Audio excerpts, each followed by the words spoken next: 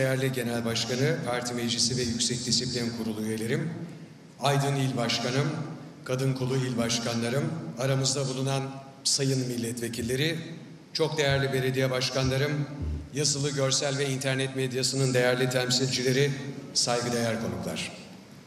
Kadınların örgütlü bir hak mücadelesi verdikleri düzende önünde hiç kimsenin duramayacağına inancım sonsuzdur. Fırsat eşitliğinin sağlandığı, kadınların hayatın her alanında güçlü ve etkin olduğu bir Türkiye'yi birlikte inşa edeceğiz diyen, hak, hukuk ve adalet mücadelesinin lideri, Türkiye'nin birleştirici gücü, Cumhuriyet Halk Partisi'nin saygıdeğer Genel Başkanı Kemal Kılıçdaroğlu konuşmalarını yapmak üzere buraya davet ediyorum.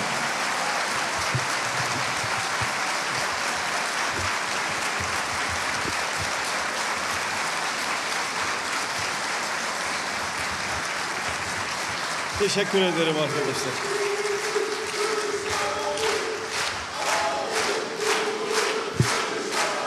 Teşekkür ederim. Sloganları daha sonra atarız.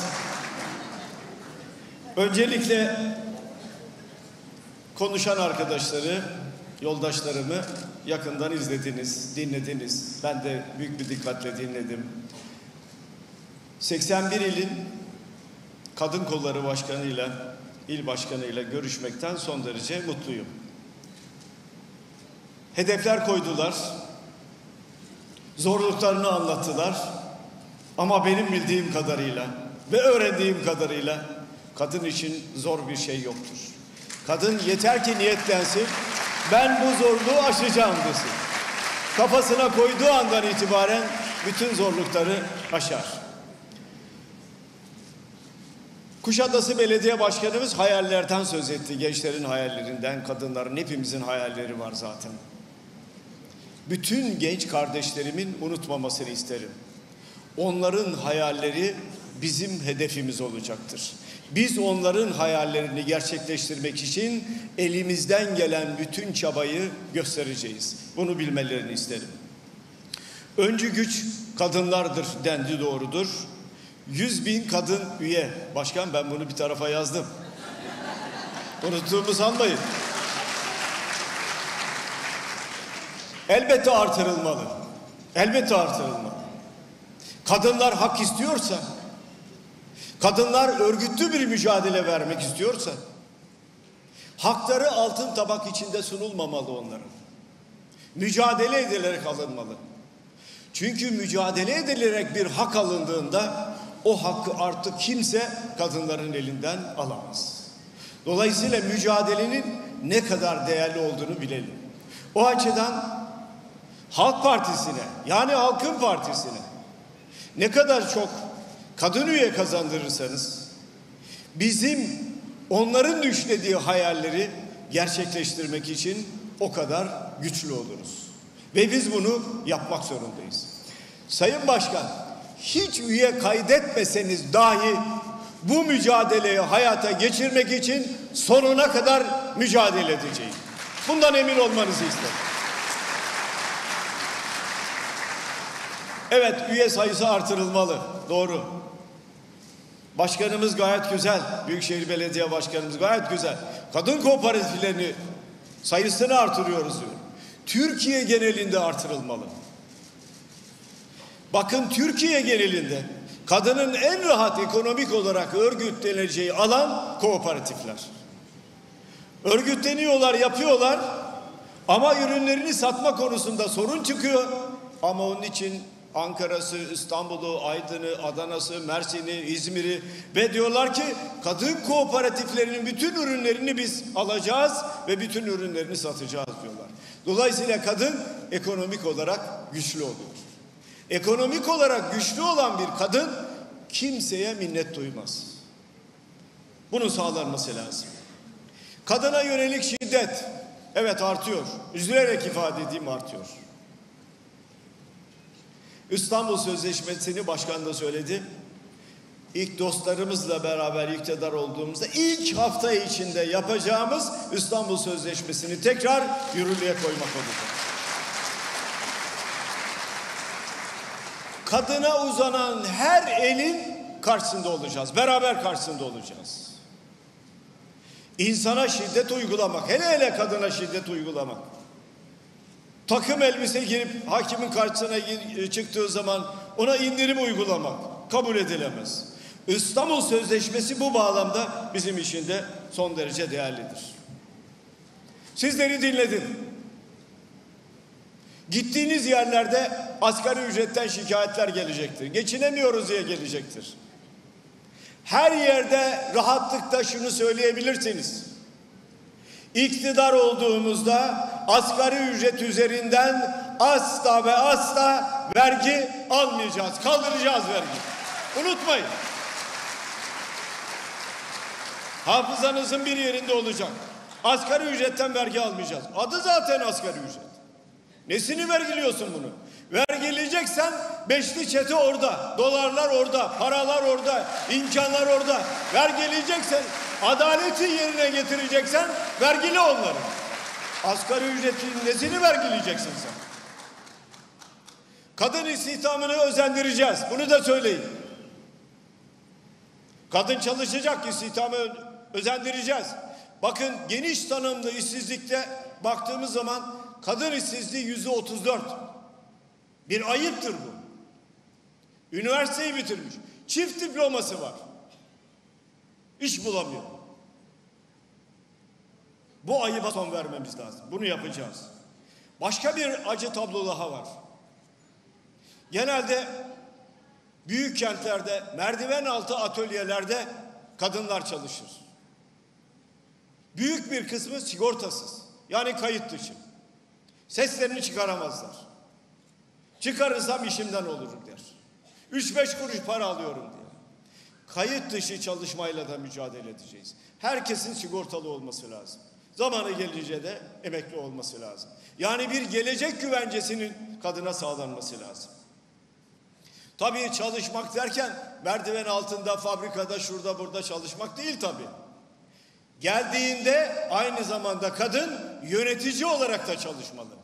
Kamunun herhangi bir alanda vali, kaymakam olmalı, hakim olmalı, savcı olmalı, müdür olmalı. Her alanda liyakate uygun olarak kadın aynı zamanda kamu yönetiminde yönetici pozisyonda da çalışabilmeli. Bu konuda sizin vereceğiniz mücadele çok değerlidir. Hak isteyeceksiniz. Dolayısıyla üniversiteyi bitirdiyseniz, kamuda belli bir göreve geldiyseniz ve orada yükseldiyseniz kadın olduğunuz için önünüz kesilmemeli. Tam tersine, tam tersine kimin hakkıysa o işi yapabilmeli. Bunu sağlamak zorundayız. Yine söyleyin, gittiğiniz her yerde söyleyin. Bütün kentlerde, yönettiğimiz bütün kentlerde, belediye başkanlarımızın görev yaptığı bütün kentlerde özellikle yoksul mahallelerden başlayarak kreş açıyoruz. Kadın güven içinde gelmeli, çocuğunu kreşe bırakabilmeli. Alışverişe gitmeli, taziyeye gitmeli. Siz önünü kesiyorsunuz. Çocuk varsa nereye koyacak çocuğu? güven içinde bırakabileceği, çocuğun sosyalleşebileceği, şarkı türkü öğrenebileceği, rahatlıkla beslenebileceği, uykusunu alabileceği mekanlara ihtiyaç var. Bizim belediyelerimiz bunları yapıyor. Belediye başkanlarına verdiğim ilk talimat kesinlikle yoksul mahallelerden başlayarak bol miktarda kreş açın. Kadın böylece kentte yaşadığının farkına var, varabilsin. Bunu yapıyoruz. Yaşlılar için de mekanlar yaratmamız lazım. Yaşlılar. Dolayısıyla aile tatile gittiği zaman evdeki yaşlıyı bırakabileceği, güven içinde bırakabileceği bir mekana ihtiyaç var. Bunların da sağlanması lazım. Yine kadın kardeşlerime sesleniyorum. Apartman görevlileri. Sakın unutmayın. Yaşadığınız her apartmanda bir görevli vardır. Özellikle kadın apartman görevlilerinin sorunlarına mutlaka kilitlenin. Her gün yüz yüze geldiğimiz ama görmediğimiz bir kitledir bu. Onların da sorunlarına kili- kilitleneceğiz. Onların da sorunlarını çözeceğiz. Kadın kardeşlerimin, il başkanı ka- kardeşlerimin unutmaması gereken bir gerçek var. Siyasetimizi etnik kimlik üzerinden yapmıyoruz. Yaşam tarzı üzerinden yapmıyoruz. İnanç üzerinden yapmıyoruz. Bunları yasaklıyoruz. Yapanlara da asla sıcak bakmıyoruz. Biz sosyal kimlikler üzerinden siyaset yapıyoruz. Bir daha söyleyeyim. Sosyal kimlikler üzerinden siyaset yapıyoruz. Apartman görevlileri bir sosyal kimlik. Hakimler bir sosyal kimlik. Yargıçlar, avukatlar bir sosyal kimlik. Bekçiler bir sosyal kimlik. Dolayısıyla sosyal kimlikler üzerinden siyaset yapıyoruz. İşsizler, işçiler, asgari ücretliler, yöneticiler her birisi bir sosyal kimlik. Ve her sosyal kimliğin sorunları var ve biz o sorunları çözmeye talibiz.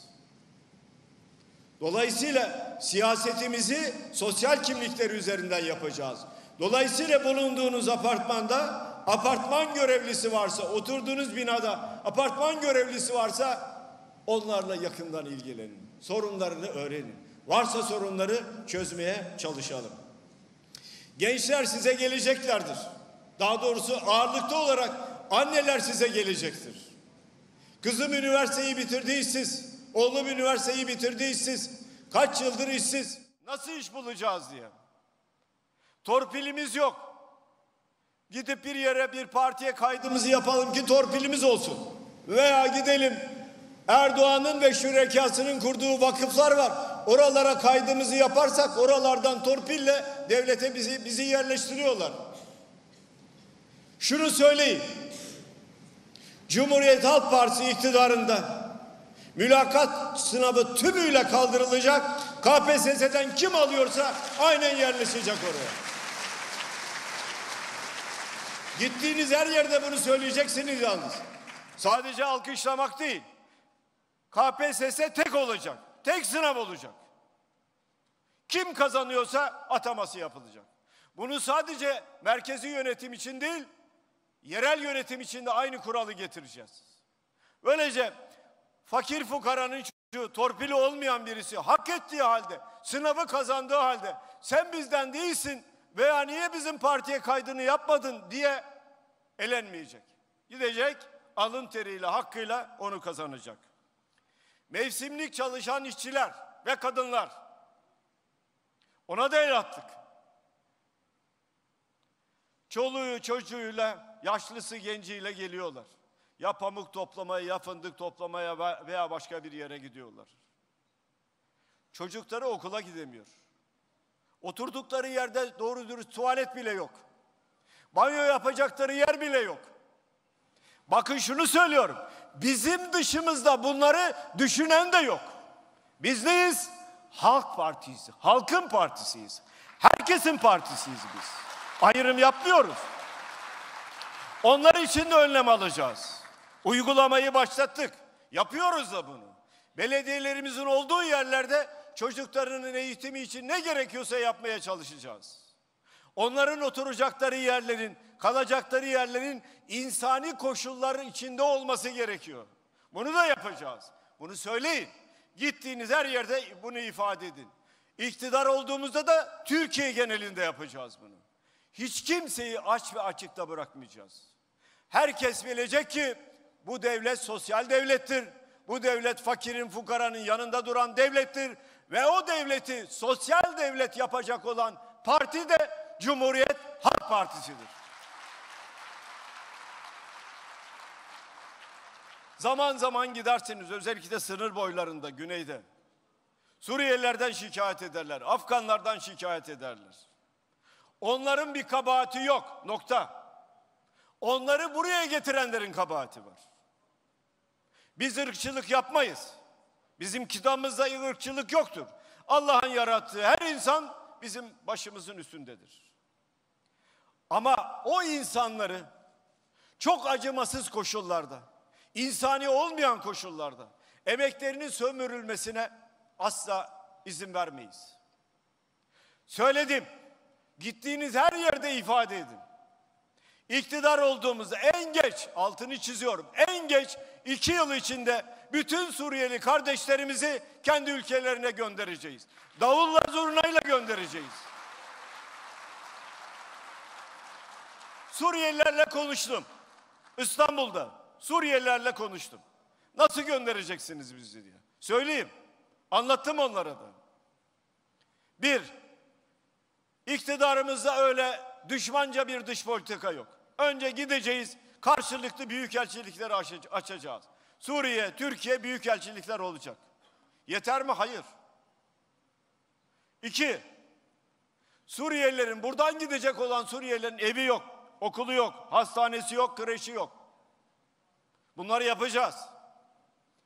Avrupa Birliği'nden sağlayacağımız fonlarla bunların tamamını yapacağız. Yolunu, okulunu, köprüsünü, kreşini, hastanesini hepsini yapacağız. Yeter mi? Yine yetmez. Üç, bunlar kendi ülkelerine gittiği zaman bunların can ve mal güvenliğinin olması lazım. Yeni bir saldırıya muhatap olmamaları lazım. Bunun da altyapısını oluşturacağız, sözleşmesini imzalayacağız. Yeter mi? Yine yetmez. Bunların çalışması lazım. O zaman diyeceğiz ki bizim sanayicilere, iş dünyasına gidin kardeşim Suriye'de bu bölgelerde fabrikalar kurun. Eskiden fabrikalar vardı zaten. Kurun. Sizden vergi almayacağız. Tek iş şartımız var. Kazandığınız parayı Türkiye'ye getirin. O kadar. Emin olun kısa süre içinde fabrikalar kurulur bu teşvikle ve bu insanlar okulu var, hastanesi var, kreşi var, işi var. Niye Türkiye'de asgari ücretin yarısına ve sefalet içinde çalışsın? Bunu anlattığım zaman Suriyeliler dediler ki bunlar olursa zaten biz hiç burada kalmayız. Kendi toprağımıza gideriz. Bakın bizim çözümümüz insani bir çözümdür. Zorla yaka paça tutup da oraya göndermiyoruz. Onları ateşin içine de atmıyoruz. Herkesi insani koşullarda kendi ülkelerine gönderiyoruz. Bunu da not alın ve bunu da gittiğiniz her yerde anlatın. Evet en geç iki yıl içinde bu kardeşlerimizi kendi ülkelerine göndereceğiz. Bir şey daha.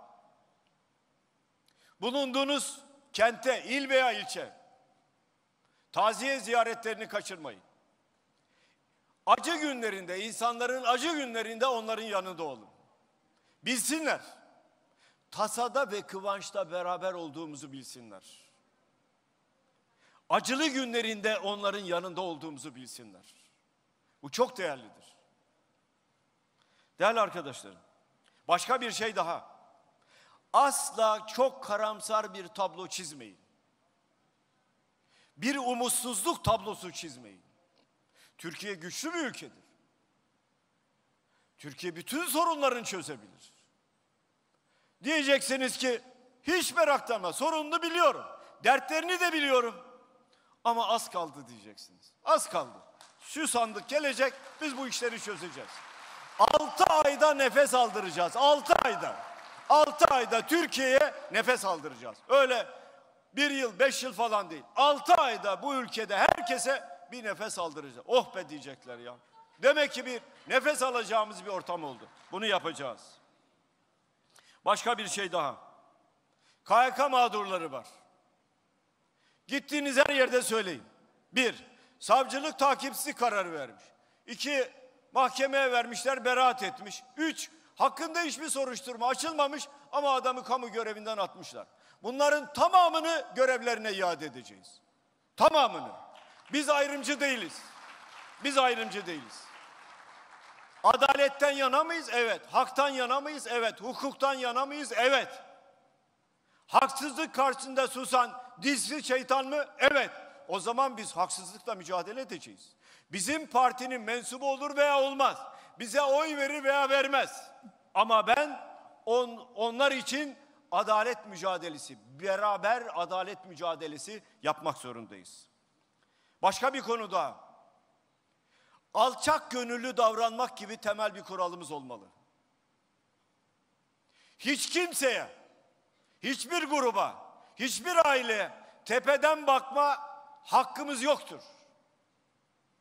Onlarla eşit koşullarda alçak gönüllü muhabbet edeceğiz, konuşacağız, sohbet edeceğiz. Dertlerini dinleyeceğiz. Sözünü kesmeyeceğiz. Yanlıştır demeyeceğiz. Ağzımızdan çıkacak ilk söz haklısın olacak. Sizi bulmuş şikayet ediyor. Derdini anlatacak. E siz lafı ağzına tıkarsanız olmaz. Dinleyeceksiniz, haklısın diyeceksin. Bir de beni dinle. Anlatacaksınız sakin bir şekilde. Sorun var evet o sorunun nasıl çözüleceğini biz anlatmalıyız. Ve onlar da bizi dinlemeliler. Karşılıklı güveni, güven ilişkisini oluşturmak zorundayız. Şöyle bir tablo var. Efendim endişeli modernler var. Endişeli muhafazakarlar var. Bu da pompalanıyor. Sakın ha CHP iktidar olursa hatta onların ifadesine göre ifade edeyim. Şu CHP var ya CHP, CHP iktidar olursa bütün haklarınızı elinizden alacak. Ya 450 kilometre adalet için yürüyen bir insan bir kişinin hakkını hukukunu alır mı ya? Alır mı ya?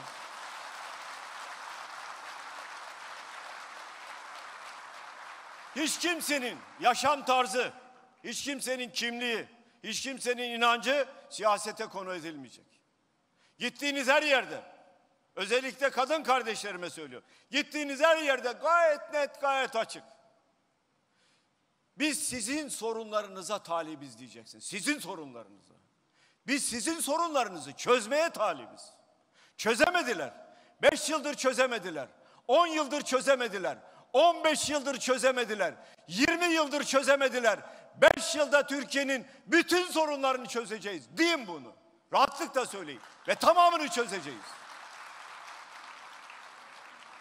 Dolayısıyla saray ve şürekası vay efendim bunlar gelince böyle olacak. Evet biz gelince o da görecek. Onun da hakkını hukukunu teslim edeceğiz. Hiç kimseyi yalnız hissettirmeyeceğiz bu coğrafyada. Cumhuriyetin kuruluş felsefesi nedir? Cumhuriyet bilhassa kimsesizlerin kimsesidir. Biz o göreve talibiz. Kimsesizlerin kimsesi olmaya talibiz biz. Hiç kimse kendisini bu topraklarda benim sahibim yok demez. Benim kimsem yok demez. Bunu bütün kadın kardeşlerimin her yerde anlatması lazım. Yine söyleyeyim. Gittiniz köye, çiftçi var, traktörü hacisli veya edilmek üzere veya başka sorunları var. Şunu rahatlıkla söyleyebilirsiniz. Kardeşim, sözümüz var. Bütün dünya duydu, sen de duy. Sana da söyleyeyim. İlk bir hafta içinde bizim iktidarımızda senin bankalardan veya tarım kredi kooperatifinden çektiğin kredilerin faizlerini sıfırlayacağız. Senden faiz almayacağız kardeşim. Bitti, nokta. Esnafla karşılaştınız. Esnafa söyleyeceksin. Şikayet edecek. Haklısın diyeceksiniz. Ama hiç meraklanma. Az kaldı. Az kaldı sandık gelecek. Ve bizim iktidarımızda bir hafta içinde ilk bir haftada senin ister Halk Bankası, ister başka bankalar, ister esnaf kefalet kooperatifinden aldığın kredilerin faizlerini sileceğiz. Ana parayı da makul taksitler içinde alacağız. Onları rahatlatacağız. Bunları gerçekten de yapacağız. Bunlar politik söylem değil. Bunlar gerçekçi söylemler. İğneden ipliğe hesabı yapılan söylemler bunlar. Esnafın nefes alması lazım. Çiftçinin nefes alması lazım. Ya çiftçinin traktörü edilir mi? Çiftçinin hayvanı edilir mi? Dünyada böyle bir uygulama var mı? Ama zorbalığı, zulmü ilke edinenler bunu yapabilirler. Bunu da söyleyeceksiniz her yerde. Özellikle kadın kardeşlerimin gittiği, gittikleri her yerde bunları dillendirmesi lazım. Yine bazen bayramlarda, dini bayramlarda şehit yakınları ziyaret edilir. Gaziler ziyaret edilir. Onların da şikayetleri var. Bakın kardeşlerim, şehitler arasında ayrım yapılır mı ya? Gaziler arasında ayrım yapılır mı ya? Şehitler ve gaziler arasında ayrım yaptılar. Bazı şehitlere fazla para, bazı şehit yakınlarına, bazı şehit yakınlarına düşük para. Bazı gazilere yüksek para, bazı gazilere düşük. Bazılarını da zaten hiç gazi bile saymadılar. Şunu söyleyin. Biz adaletten, haktan ve hukuktan yanayız. Bütün şehitlere aynı hakkı tanıyacağız. Bütün gazilerimize aynı hakkı tanıyacağız. Bunlar yapamadılar. Bunlar toplumu ayrıştırdılar. Bunlar toplumu böldüler. İkilik soktular. Bir şehit yakını ile öbür şehit yakını neredeyse düşman haline getirdiler. biz bu toplumu barıştıracağız. Bu topluma barışı egemen kılacağız. Adaleti egemen kılacağız. Bunu rahatlıkla söyleyebilirsiniz. Yine gidip size zaman zaman gelebilir, şikayet gelebilir gittiğiniz yerlerde. Efendim çocuğum üniversiteyi bitirdi. İşi gücü yok. E zaten üniversitede okurken zor bela kredi yurtlar kurumundan bir burs almıştık. İşi yok. E şimdi haciz istiyorlar. Parayı istiyorlar. Bu çocuk parayı nereden verecek? Para veremiyor çocuk o zaman babasının mal varlığına. Sen ödeyeceksin diyorlar. Ya babasının durumu çok iyi olsa zaten kredi almasın. Diyeceksiniz ki bizim iktidarımızda, halkın iktidarında çocuk işe girdikten sonra ancak taksitini öder, kredi taksitini öder. Faizi, faizi sıfırlayacağız. Onlar faizci düzeni savunuyorlar, biz faizsiz düzeni savunuyoruz. Görüyor musunuz? Onlar başkalarına çalışıyorlar, biz halktan, hukuktan yana çalışıyoruz. Bunu da anlatacaksınız. Söylemlerim zaman zaman anlatılır. Sizler de ifade edersiniz. Uzun süredir söylediğim bir cümle var. Bu topraklarda hiçbir çocuk yatağa aç girmeyecek diye. Aile destekleri sigortasını anlatacaksınız. Her ailenin asgari bir gelir güvencesi olacak. Asgari bir gelir güvencesi. Hiçbir aileyi birisine muhtaç etmeyeceğiz. Sosyal devlet dediğiniz zaten budur. Fakirin fukaranın yanında duran devlete sosyal devlet denir. Sosyal devleti sosyal devlet olmaktan çıkardılar. Soyulması gereken bir organ gibi görmeye başladılar. Devleti nasıl soyalım? Öyle ya. 128 milyar dolar nereye gitti? 128 milyar dolar. Hesabını verdiler mi? Vermediler. Ama hiç endişeniz olmasın. Bu 128 milyar dolar nereye gitti? Onun hesabını tutacağız. Hiç kimse endişe etmesin. Bu milletin hakkını ve hukukunu mutlaka arayacağız. Asgari gelir güvencesi vereceğiz. Bakın şunu da gittiğiniz her yerde ifade edin. Asgari ücret vergi alınan ve net ele geçen 2825 lira. 2825 lira asgari ücret. Açlık sınırı ne kadar? 3049 lira. Asgari ücret açlık sınırının altında. Buradan hükümete açık ve net bir çağrı yapıyorum. Bütün kadınlar adına, bütün anneler adına açık ve net bir çağrı yapıyorum. Asgari ücreti süratle açlık sınırı seviyesine getiriniz.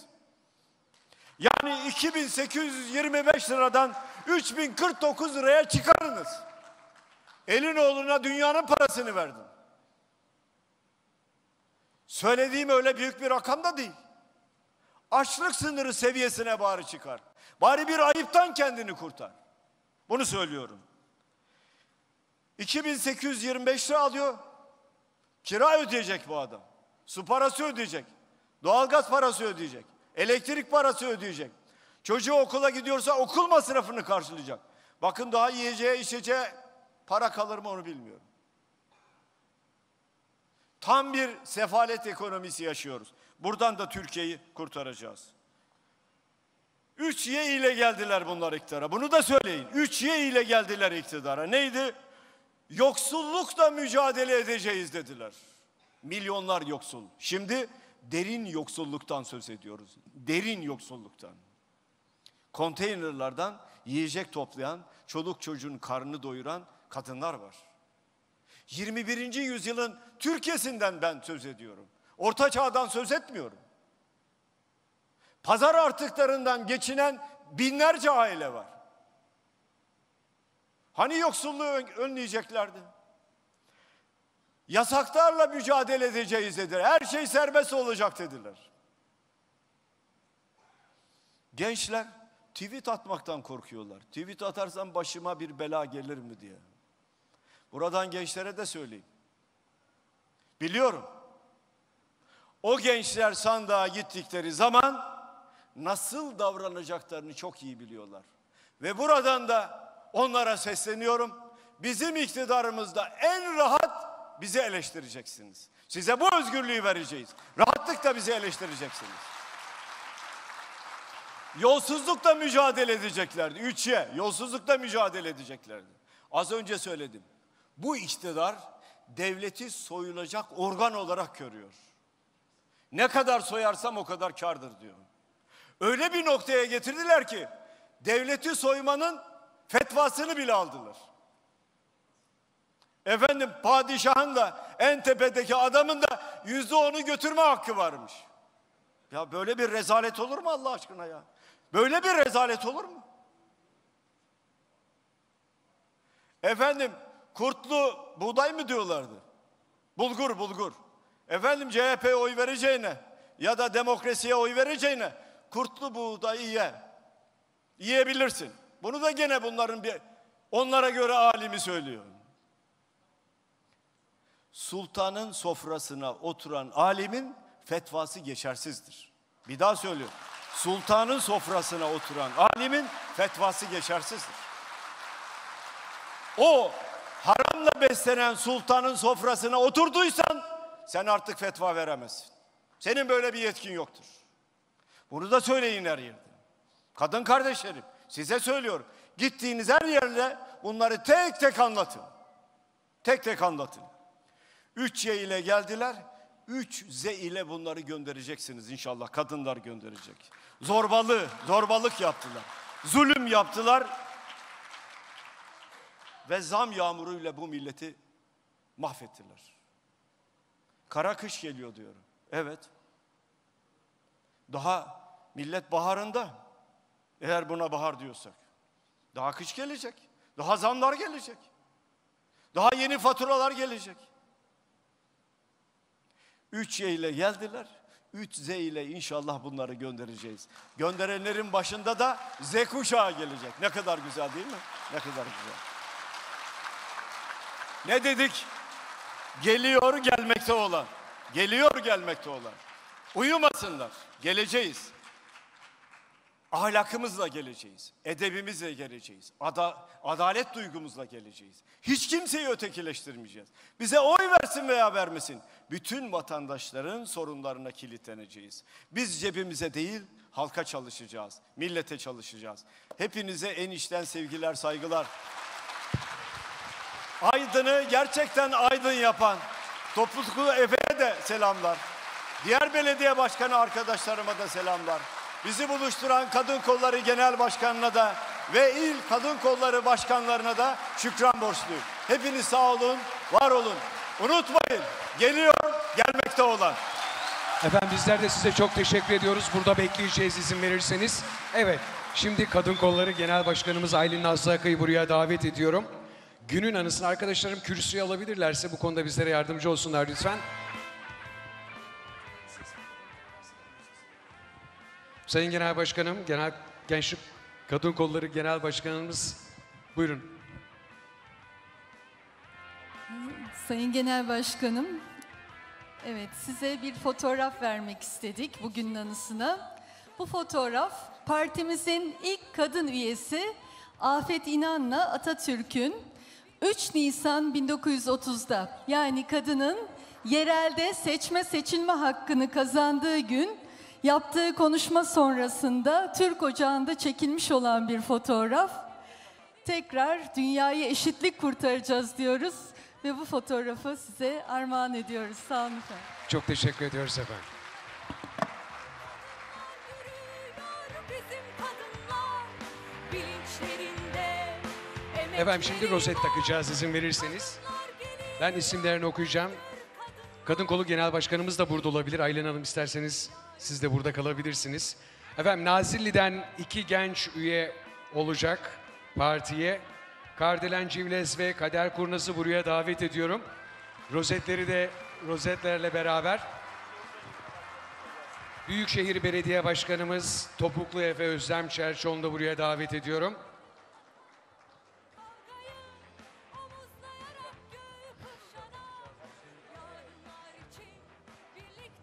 Sayın Genel Başkanımız Kemal Kılıçdaroğlu, Nazilli'den Cumhuriyet Halk Partisi'ne üye olan Kardelen Civlez ve Kader Kurnaz'a Cumhuriyet Halk Partisi rozetini takıyor. Kardelen Civlez'le Kader Kurnaz'a Cumhuriyet Halk Partisi'ne hoş geldiniz diyoruz. Kuşadası'ndan 3 genç bize rozet takılacak. Eylül Sultan Cakkal, Dicle Nehir Kızılateş ve Ümmühan Mersin'e